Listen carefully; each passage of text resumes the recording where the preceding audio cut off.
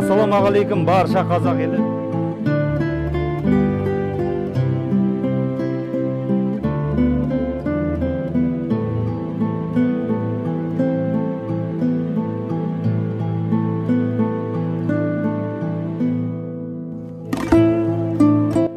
Енді жақсы қонақ келсе мал қой егіз туады дейді ғой қазақта. Біз келіп едік мына жақта галштин породасы ғой деймін ары қарап жатыр. Туайын деп жатыр.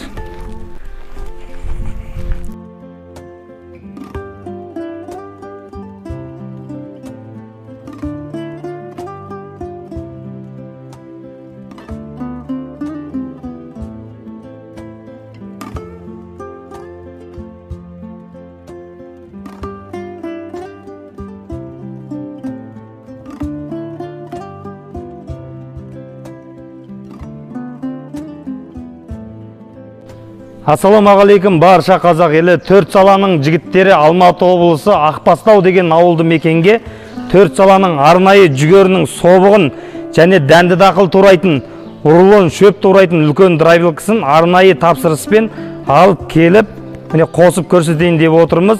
Равон агро деген шаруашылық қазақстандағы ең үлкен ең үлкен жиырма шаруашылықтың қа- қатарына кіреді. Сол үшін осы шаруашылықтың құрылымын және драйвилкіміздің қандай жұмыс жасайды қандай құрылғылары қалай қойылған сол бағытында видео түсіретін боламыз. Бізбен бірге болыңыздар.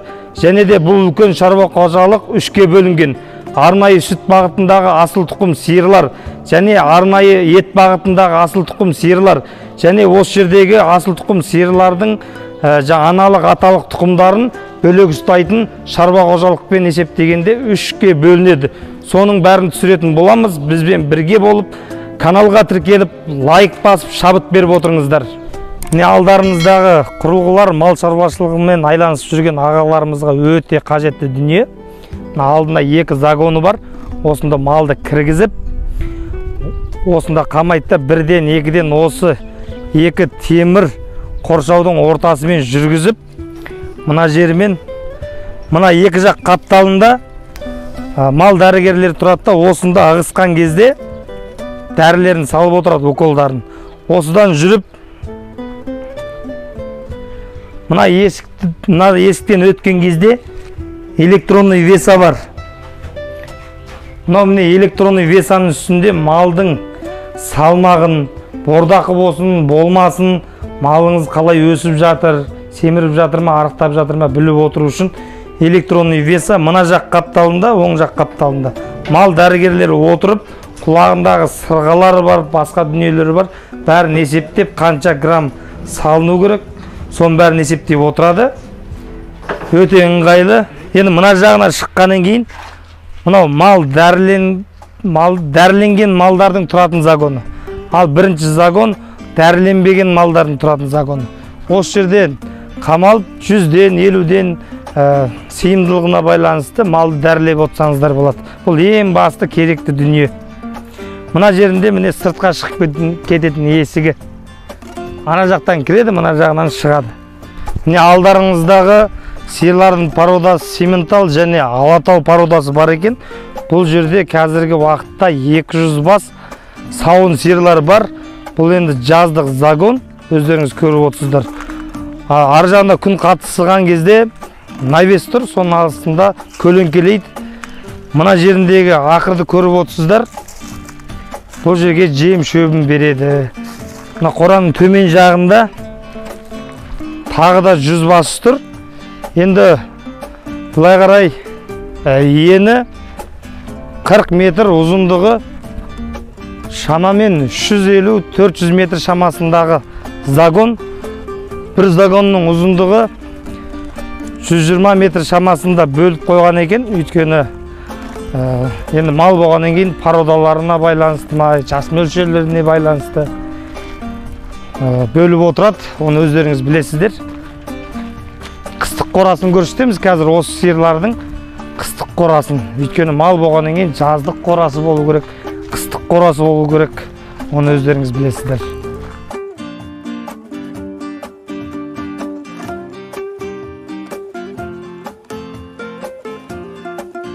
Алдында қайнатылған арнайы жем борда деп айтты енді атын. Көріп отырсаңыздар.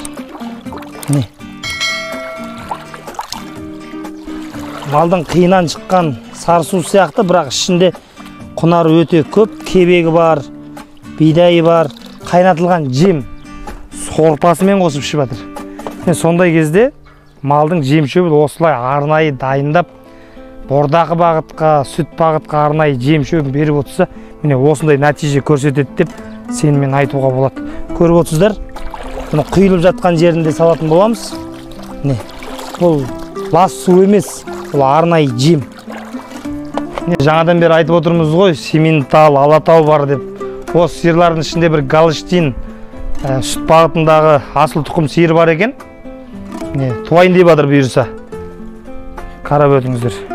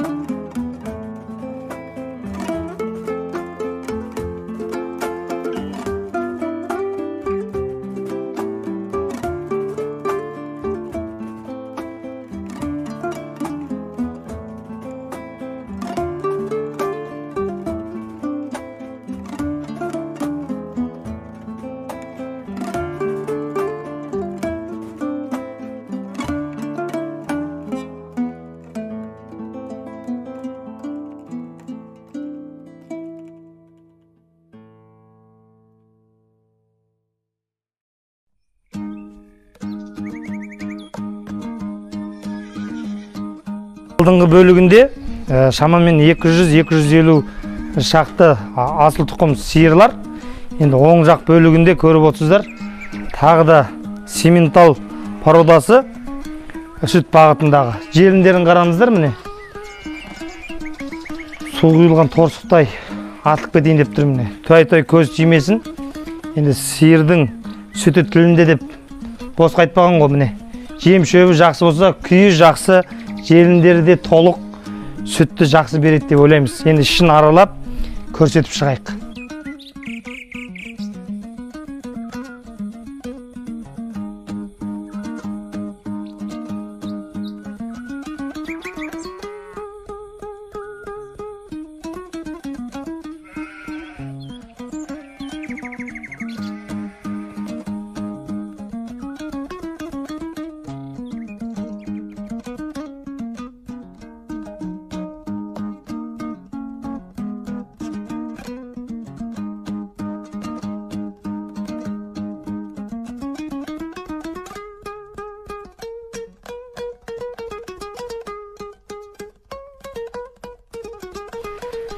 Міне қадірменді біздің YouTube каналдың көрермендері бұл шаруа қожалықта айта берсек бір сағат екі сағат видео болып кетеді. Сол үшін тез тез түсіруге тырысамыз. Мына жаздық загонды көріп өттіңіздер. Жаздың күні күн жылы кезде мына сауын сиырлардың тұратын жерін енді сауын сиырлардың сауылатын жерін және қыстың күнгі тұратын жерін бәрін түсіретін боламыз. Міне қораның ұзындығы мынау қыстық қора қыстың күні сауын сиырлар тұратын. Ұзындығы 100 метр ә, ені 18 метр шамасында. Ортасында кармараздатчикпен жем тарататын жолы. Енді қора салған кезде ә, бес ерекшелігі болу керек. Қораның боқ тазаланатын, тазаланатын жері қораның жем шөп беретін жері және қораның іші жарық болу керек қыстың күні жылы жаздың күні салқын болу керек. Өздеріңіз көріп отырсыздар міне ә, екі жақ бүйірінде жаңағы сүт бағытындағы асыл тұқым сиырларымыз тұрады. Ортасынан кармараздатчигі өтіп екі жақ қапталына жем шөбін таратады. Және де трактор мына жағынан кіріп ар жағынан бірақ тесіп өте шығады. Қора осылай салыну керек.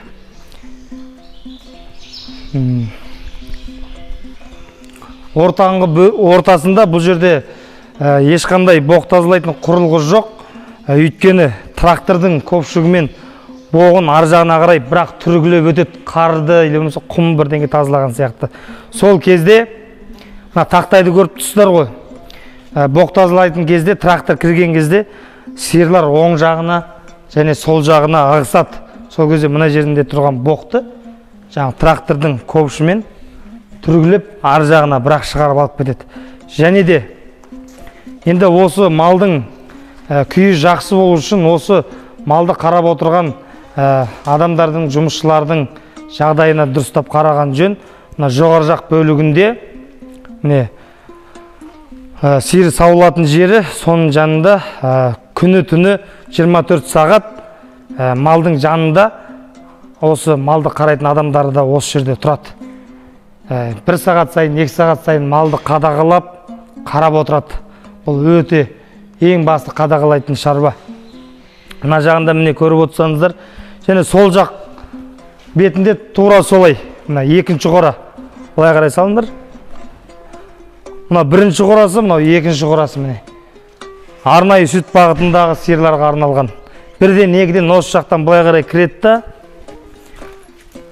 енді сүт бағытындағы сиырларды білесіздер атын айтса өзі келетін шығар. Міне осы есіктен кіріп мына жақтан шыға ма? Ар жағынан кіреді ғой да? Мына есіктен шығып қораға кіріп кетеді екен ар жағынан кіреді екен.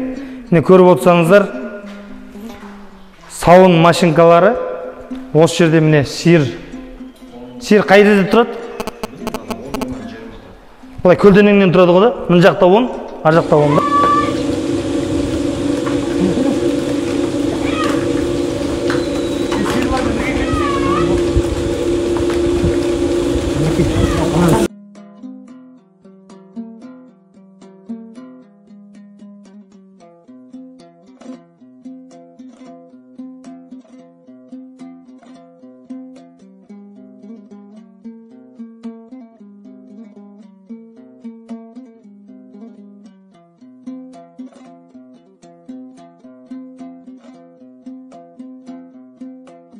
Міне көріп отырсыздар ғой қандай тамаша шаруашылыққа айналысқан енді қанымызда бар ғой малмен айналысу дегенмен жиырма бірінші ғасыр тәтеміз шығып бір ысқырып еді.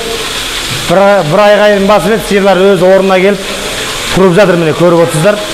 Мына аппарат сиыр сауылып болғаннан кейін үш рет жуылады екен. Давлениемен.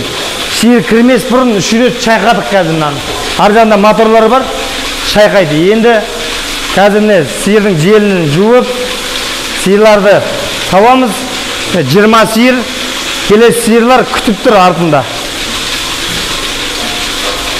таза емес сол үшін қазір жуады мынанікі таза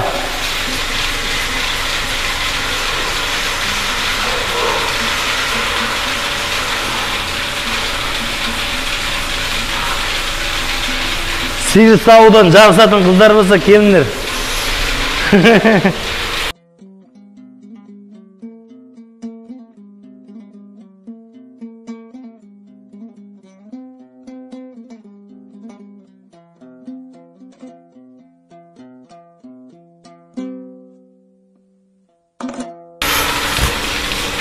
О міне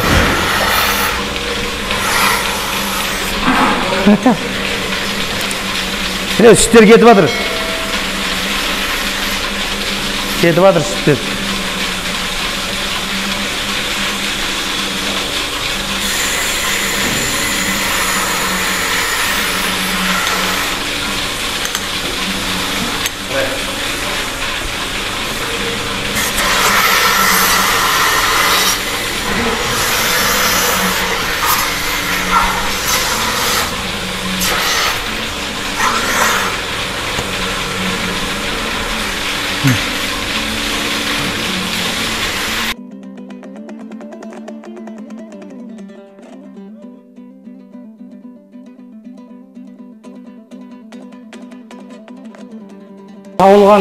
Сиырлардың сүті мына ыдысқа жиналып жаңағы бір тонналық бір жарым тонналық сыйымдылығындағы ыдыстарға кетіп жатыр.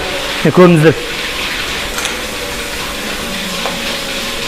Қыста болсын жазда болсын оның ашитын уақыттары болады. Жаздың күні күн ысыған кезде осындай холодильник ыдыстар сүтті ашытпай сақтап отырады. Жаңағы сүт қабылдайтын жаңағы машина келгенше. Мынаның сыйымдылығы бір тонна мына жағындағы ыдыстың сыйымдылығы екі бір жарым тонна. Ә, жалпы қосқанда екі жарым тонна сыйымдылығымен мына жағында көріп отырсыңыз мынаның ішінде ыдыс осының ішіне жиналады. Міне. Мына құрылғылар міне моторларымен оталдырып суытып салқындатып ашытпай отырады.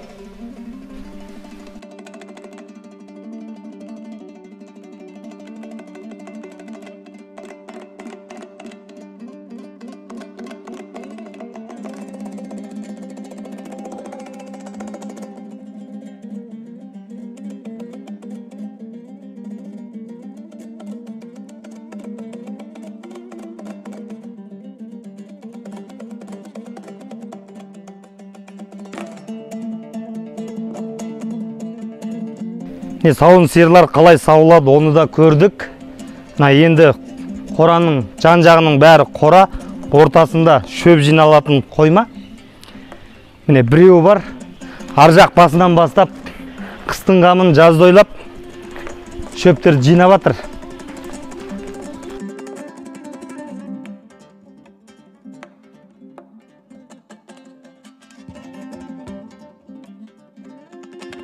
шет жағасын ашып көрдік.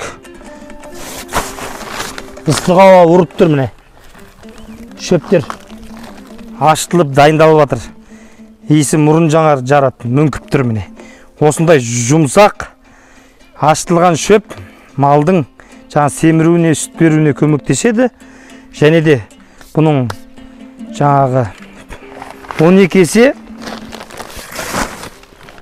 құнарлығы артады. 12 есе құрғақ шөптен қарағанда ашытылған шөп 12 есе жаңағы құнарлығы артады. Міне осылай осының бойымен бірдей қылдырып дайындайды.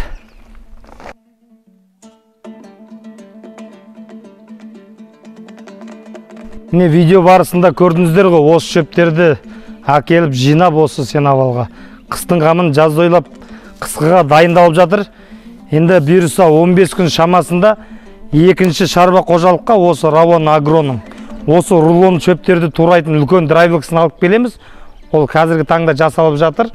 Бүгін біз арнайы дәнді дақыл және жүгерінің собығын турайтын драйвлкімізді алып келіп орнаттық. Міне осылай. Шөпті ар жақта екі қойма бер жағындағы үшінші қойма толтырып аузы мұрнынан шығарып жинайды. Өйткені бұл жерде малдың саны шағын емес. Ә, айтып отырмын ғой сүт бағыты бар және мына жерде жылқылар бар. Мына жылқы қораға кіреміз. Қазір жыл- жылқы қора қалай салыну керек оны да көретін боласыздар. Бұл шаруа қожалықта бірінші точкасында сүт бағыты мен жылқы шаруашылығы. Оны көретін боласыздар. Жылқының қорасы міне былай салыну жылқы қораға баратын жолда тағы да төрт қора тұр. Ар жағында тағы төрт қора салынып жатыр. Жүре берсең көре бересің деген міне осы. Мынаны қараңыздар. Транспортерный лента ғой мынау? Резина. Қалыңдығы 3 сантиметр міне. Бармақтың қалыңдығынан қалың. Бұл не үшін деп ойлайсыздар? Комментарияға жазып кетіңіздер. Бұл енді малдың астынан сыз өтпесін деген ә, себеппен қойылған дүние деп ойлаймын. Өйткені мынаның үстінде тұрған малдың малдан ешқашанда су өтпейді. Міне ақырларын көріп отырсыздар. Мына жерге жем шөбі кармараздатчикпен ортасынан кетеді. Мына жерден суын ішеді.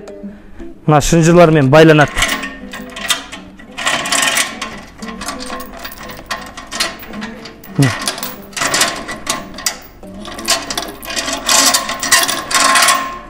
Міне осылай бұқа болсын сиыр болсын тайынша болсын осылай қысқартып ұзартып байлай береді. Міне осылай осындай қораларыңыз болсын осындай қора салуға талпыныңыздар.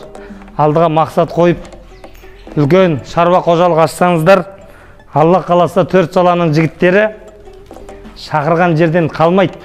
Қазақстанның кез келген жеріне шақырсаңыздар болды барамыз. Міне осылай драйвилкімізді орнатамыз видеосын түсіреміз. Бұл енді біріншіден біздің техникаларымызды халыққа көрсету екіншіден жаңа бастап келе жатқан аға бауырларымызға қазақ жігіттеріне міне өте үлкен көмек. Көріп отырсаңыздар қалай салу керек? Бәрі осындан көрінеді. Бұның ең тиімді жері бұл қораның ағамыздың жобасы. Өте керемет. Ең басты ауыр шаруа мал бордақылауда. Бұл малдың тезегін тазалау. Кәдімгі жерде бұқа тұр деп ойлаймыз міне. Бұқа тұр ә, тезегін тартып мына жерге түсіреміз. Трактор келіп тазалап кетеді. Ешқандай транспортерный лента ондай жаңа тсн транспортер деген қажет жоқ малдың боғын тазалайды. Трактордың көмегімен трактор ар жағынан кіреді мына жағынан бір ақ шығып кетеді. Мына ортада тұрған стойкалар ә, бетоннан құйылған бетоннан өйткені темірді кішкене экономдау бұның ортасында арматура бар. Міне осылай қойып турба квадратпен ортасынан бір рет ұстатқан міне мынаны жақындатып көрсет. Міне бетонды ортасынан ұстатқан жоғары жағынан сосын бөренесін темірден жіберген. Бір екі. Мына жағында екеу. Сонымен ағаштармен екі жаққа шипырды қойып жаба салған. Бұл енді өте керемет жаздық қора болуы мүмкін. Жаздық қыстың күні кішкене суықтау болады бұл қора. Міне көріп отырсыздар ғой. Мына жағында міне төрт қора салынып біткен. Енді мына жақта бір ә, так екі үшеу төртеу тағы төртеу салынып жатыр. Міне өте оңай. Бірінші ақырды салып аласыздар. Малдың тұратын жері. Одан кейін тағы да бір діңгек бетоннан. Өйткені шығыны аз болады бұның. Өздері құяды өздері істейді. Міне ақыр діңгектерді қойып шығады. Енді шатырын жаба салса болды. Қора дайын жаздық қора. Міне осындай пайдалы ақпараттарды береміз. Каналға тіркеліңіздер. Қазақ жігіттерін қолдап миллион подписчикке жеткізейік жетейік миллионға. Неге жасамасқа неге өндіріске бұл біздікі деп айтады ғой. Міне неге жасамасқа? Төрт саланың жігіттерінің де қолынан келеді. Міне. Суының бәрі қосылып тұр. Қазір мынау өзі қайтады су толған кезде. Мынау енді керемет. Малдың су ішпей қалды ау. Судың уақыты өтіп кетті. Арғы жаққа жаңа су жаққа айдаңдар ары бері деген әңгіме жоқ. Осы жерден суын ішеді жемін жейді осы загонда жүреді емін еркін. Міне қараңыздар міне. Су толды тоқтады. Қақпағын жабамыз. Сиыр келді міне. Тұмсығын итерді. Су ішті. Бір ішкенде төрт сиыр су ішеді. Бұл енді загонда орналасқан. Өте керемет құрылғы міне біреу келесі загонда тағы да біреу тұр міне. Бір загонда бірден жетіп жатыр. Бұл жердің өзінде бір загон екі үш загон бар. Үш загонда осындай құрылғыдан үшеу. Емін еркін суын ішіп жемін жеп өз алдында табиғи бордақыланып жатыр деп айтсақ та болады. Өз ішкісі келгенде ішеді жегісі келгенде жейді. Емін еркін бәрі. Алдарыңызда тұрған жылқыға арналған загон. Көріп отырсыздар қазір енді жаздың күні. Жылқының бәрі жайлауда. Мына арасында кішкене ақсаған айғыры бар екен кіші. Ә, осы жерде тұр міне. Анау қыстық қорасы ар жағында тұрған. Міне. Оның ішіне де кіріп көрсетеміз қазір. Мына жағында да жылқы бордақылануға арналған ә, қоралар бар. Соған кіріп көрейік. Жаңағы айтып отырған құрылғы міне. Су бұлақтың басы. Міне қазір міне ішіп жатыр суды. Жылқыға да бұқаға да сиырға да бәріне бола береді. Міне су ішіп үйреніп алған?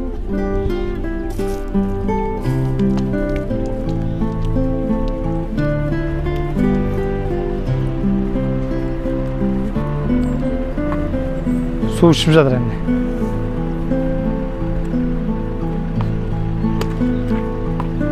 жаңағы жылқының жаздық загонын көрдіңіздер. Мына алдында да жем шөп жеуіп кішкене прогулкаға шығатын кішігірім загоны бар.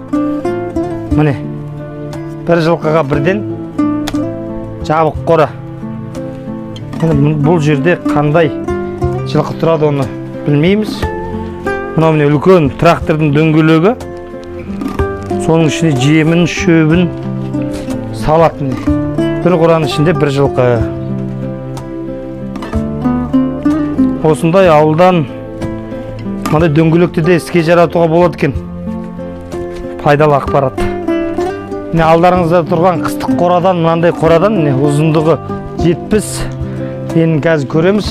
Тоғыз қора тұр қатарынан былай қарай тоғыз қора. Қазір ішіне кіріп көретін боламыз.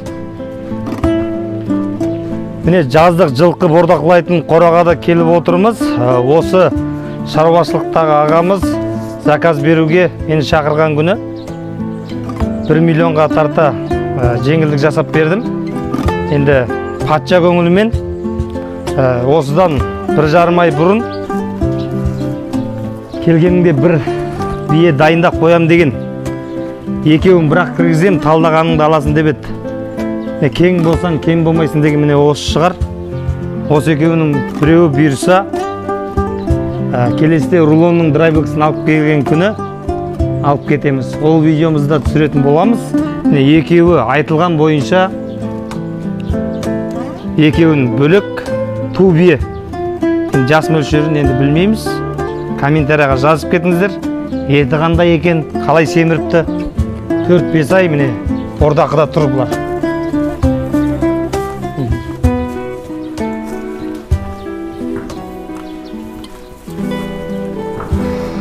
мынау енді бір жас бір жарым жас мөлшеріндегі құнан тайлар енді кіріп жатқан шамасы міне бордақыға. Шөбін жеп міне. Осы жерде суын көріңіздер міне. Екі жағында екеу ма біреу ма? Екіге бөліп қойған міне көріп отырсаңыздар. Мына жерінен кіреді. Мына дайын болған кезінде шығарып далаға шығару керек болса. Екі екіге бөлген соның ортасында су ішетін жері тұр. Міне шөбі көріп отырсаңыздар.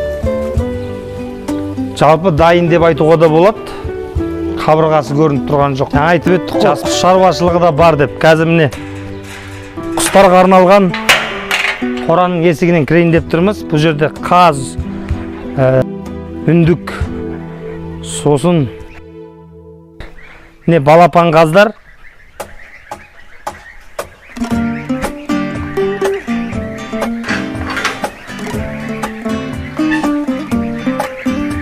Қазір ә, мынау қорасы ішінде қыстық қорасы бар. Мынау жаздық загоны.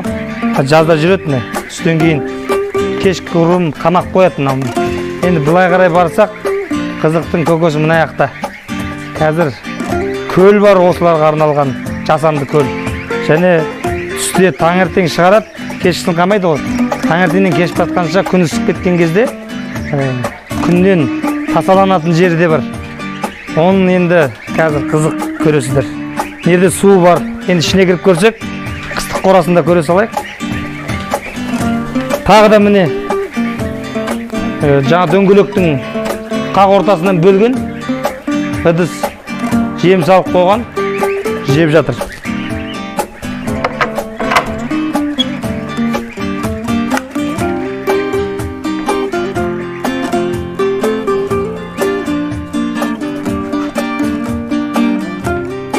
Мынау міне арналған валер мына балапан кезінде жұмыртқадан шыққан кезінде осының ішінде міне лампочкасы көріп отырсаңыздар лампочкалар бар. Мына балапан кезінде осының ішінде өсіреді.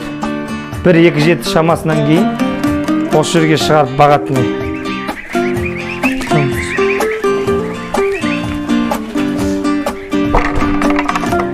міне жас мөлшері уақытысы бір ай. Бір жеті үш төрт ай болған. Ары қарай тағы көрсетем. Мынау енді инкубатор. Қазір көреміз. Енді балапаннан жұмыртқадан шығып жатқан балапандар. Е мында тауық қой. Міне тура осындай. Жаңағы қаздың вольері сияқты. Балапандардың вольері астына сабан төселген. Суын жерден ішеді. Кормушкалар бар міне. Ішінде балапандар бар. Жып жылы ғой мына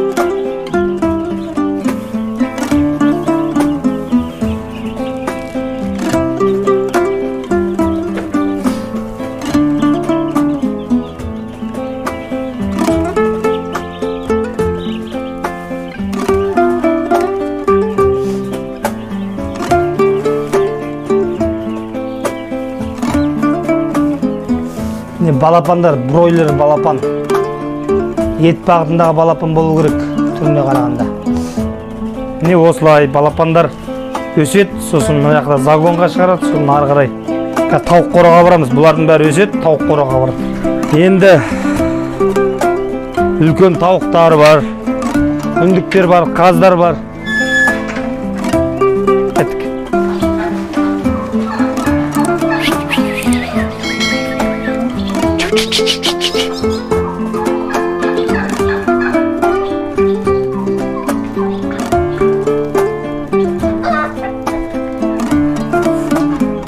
Осылай қандай керемет. Жылқы да бар сиыр да бар қой да бар қазір көрсетемін. Жалпы мал түлігінің құстың бәрі бар. Көріп отырсыздар ғой мынау алдындағы қоршауы міне. Мынаның ішін түсіріп шық. Қыстың күні ішінде паровой тартылған.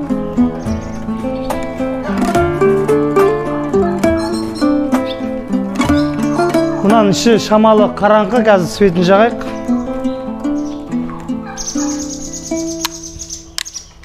Светтер күйіп кетті міне қораның іші шамалы қараңғы қыстың күні осы қаздарға тауықтарға осы қораның ішін жылыту үшін паровой тартылған. Қыстың күні жылы болады. Міне керемет міне потолок.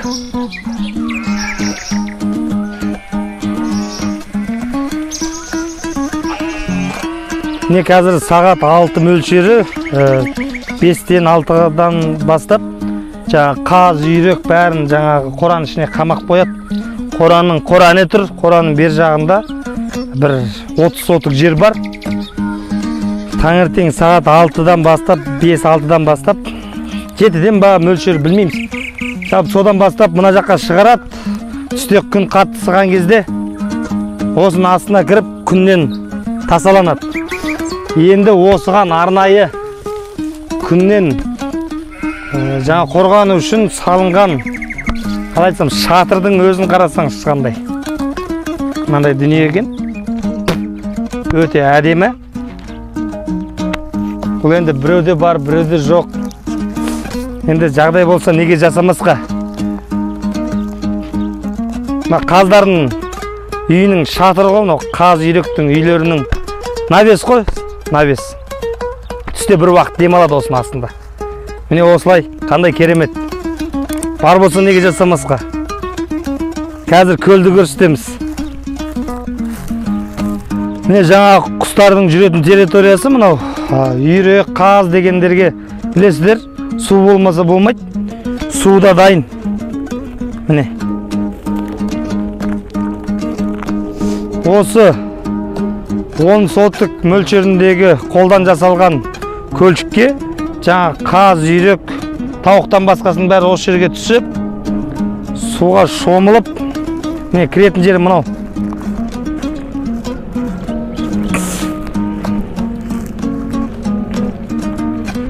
Мына жерде қарасай?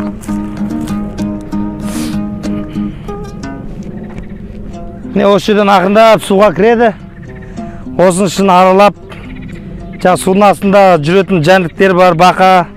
Балық сондай бірдеңелерді жеп қоректеніп шомылып қайтадан үйіне қайтады. Жасағаннан міне осылай жасау керек деп ойлаймын өзім. Бір қораға келіп отырмыз.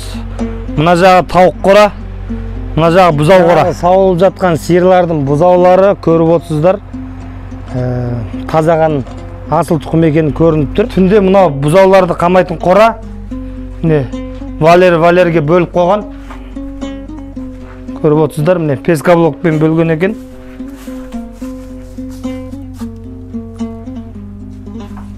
Жарайды келесі есіктен кіреміз.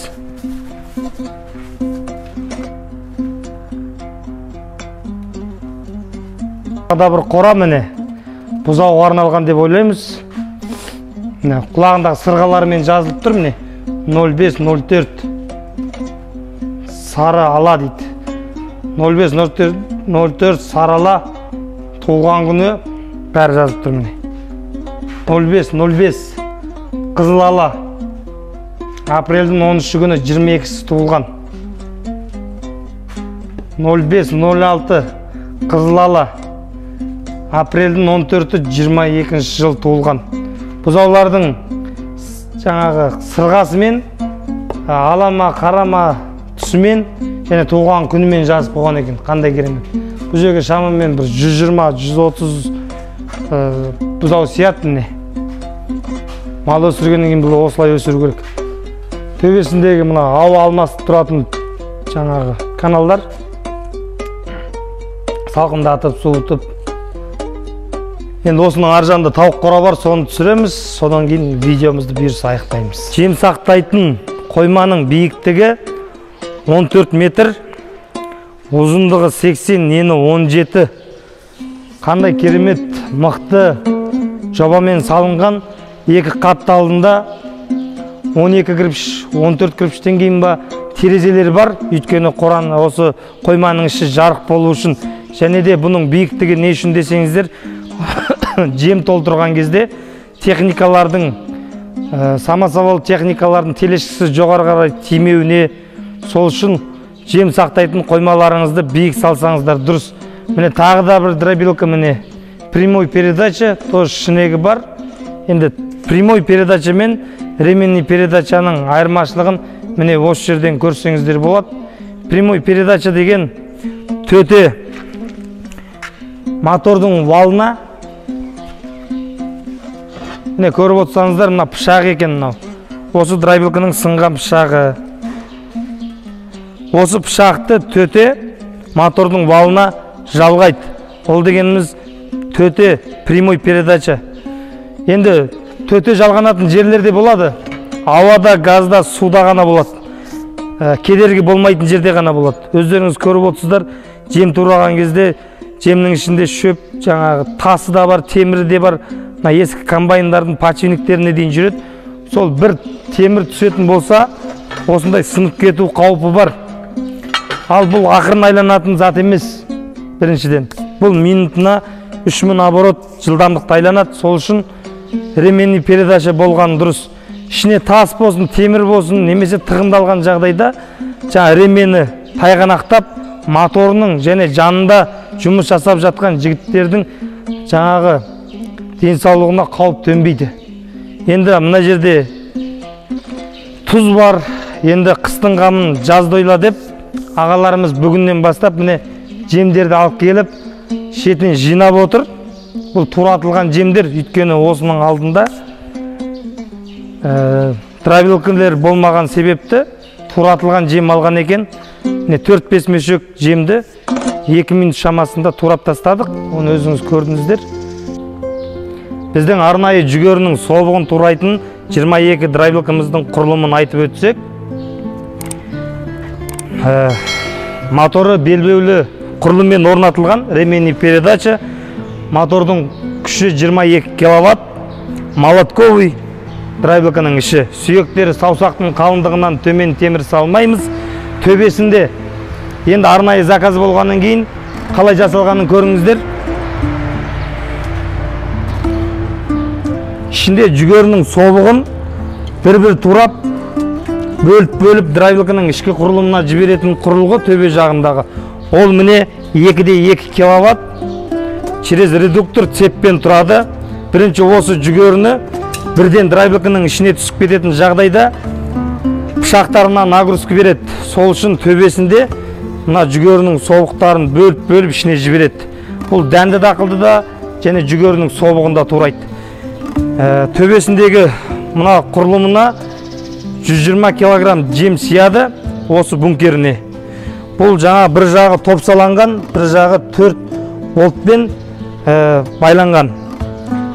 Болды шеш, шешсеңіздер артқа қарай ашылып ішіндегі сеткісін және пышақтарын ауыстырып отыруға болады.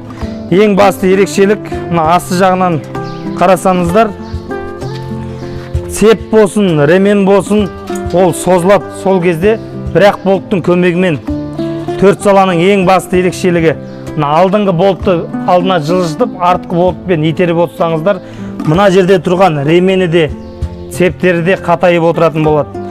Және де сақтансаң сақтаймын дейді ғой.